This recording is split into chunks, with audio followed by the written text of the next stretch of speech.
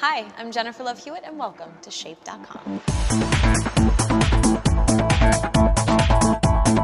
The first shape cover I did, I was really, really happy. It was super fun. It was so nice. Um, I had so many great women come up and they were like, oh, we're so happy you were on the cover and it looked great and it was really fun. And so uh, I'm getting ready to turn 34.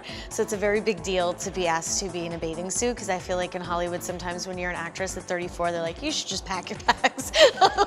so it's really nice to be like asked to be on the cover in a bikini and sort of do it again. I'm so lucky to be here. You know, I when I do shoots like this, when I go to work every day, I know that there are probably 50,000 other me's in the world who maybe even look similar, who could be more talented, who could be funnier, better, whatever it is, and they just didn't get the opportunity to be here, and I did. And so I feel very lucky about that, and I try to take that opportunity and make the most of it. As I'm getting older, I'm definitely realizing that like less makeup and more moisturizer is a big thing for me in my life. Like people tend to go, oh, you look really fresh and rested today. When you have that, when I tend to pile on makeup and do powder like I used to, and they're like, you look really tired. I'm like, thank you and good morning.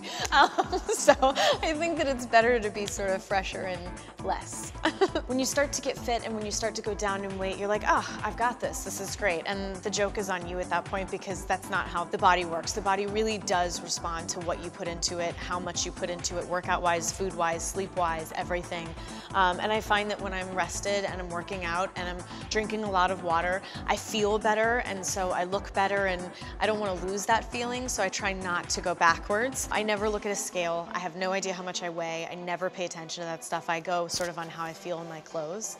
Um, and that's what's important to me. And if I feel good in them, then I'm happy. And it doesn't really matter what anybody else thinks.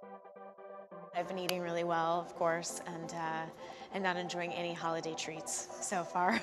but when we're done, I'm going to enjoy some holiday treats. And I'm really excited about it.